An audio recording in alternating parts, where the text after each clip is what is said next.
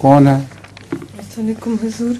हजूर मेरा सवाल ये है कि हज़रत मोहम्मद सल्लल्लाहु अलैहि वसल्लम क्या दस दिन से ज़्यादा भी इतिकाफ़ करते थे? नहीं। दस दिन के तकाफ फरमाया करते थे।